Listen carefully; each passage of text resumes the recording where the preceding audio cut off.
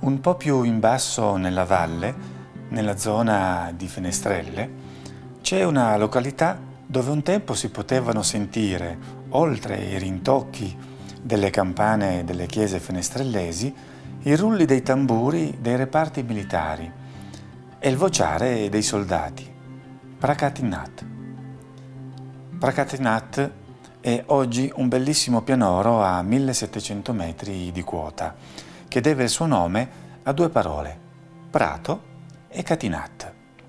Mentre la prima, prato, è intuitiva, qui infatti tutto è ricoperto da un prato davvero suggestivo, e poi soprattutto in primavera, quando le sue multicolori fioriture richiamano i colori di un arcobaleno, Risalire alla seconda è un po' più difficile. Catinat era infatti il nome di un ufficiale francese agli ordini di Luigi XIV, che guidò per diversi anni, alla fine del Seicento, i suoi soldati a guerreggiare su queste montagne e non solo.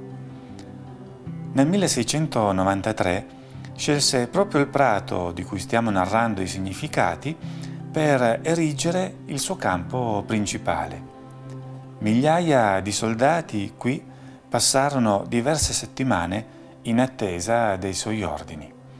I soldati poi scesero in Piemonte a dare battaglia e qui rimase il ricordo di quei fatti sotto forma di toponimo, Prato di Catinat, diventato poi Pracatinat. In realtà, però, questi luoghi dovrebbero forse chiamarsi in modo diverso.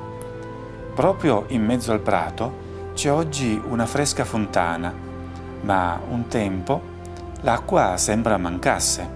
Si racconta che un toro reso furioso dalla troppa sete incominciò ad arare il terreno con la testa, fin quando si ruppe le corna contro una pietra nascosta nel terreno dalla quale scaturì immediatamente dell'acqua.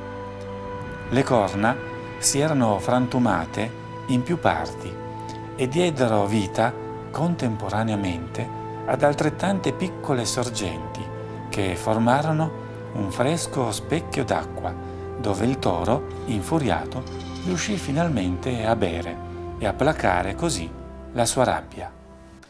Abbiamo parlato di donne fra le rocce, di conti e di menestrelli, di ragazzi e di draghi, di soldati e di tori. Ci manca ancora una figura, la vecchia. Salendo dal pian dell'Alpe verso il colle delle finestre, a un certo punto si incontra una strada militare che porta verso la cima Ciantiplagna.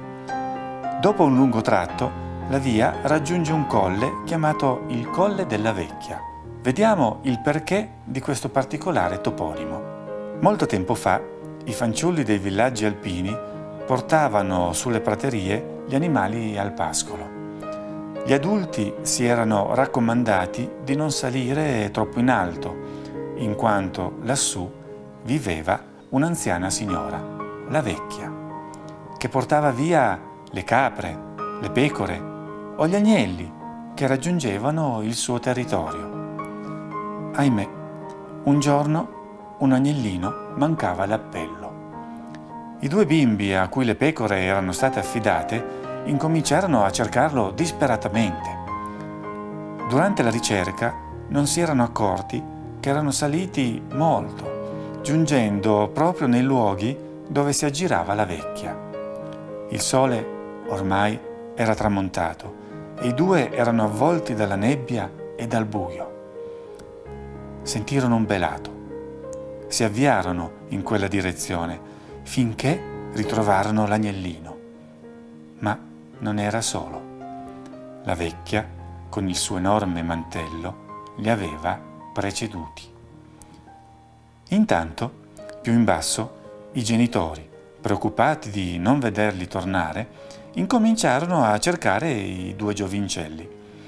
Il tempo passava velocemente il sole era ormai sorto quando gli adulti arrivarono in alto, sul colle. Qui videro disteso sul terreno il mantello della vecchia che copriva alcuni corpi. Temendo il peggio, si avvicinarono, sollevarono il mantello e sotto trovarono beatamente addormentati i due giovani con accanto l'agnellino.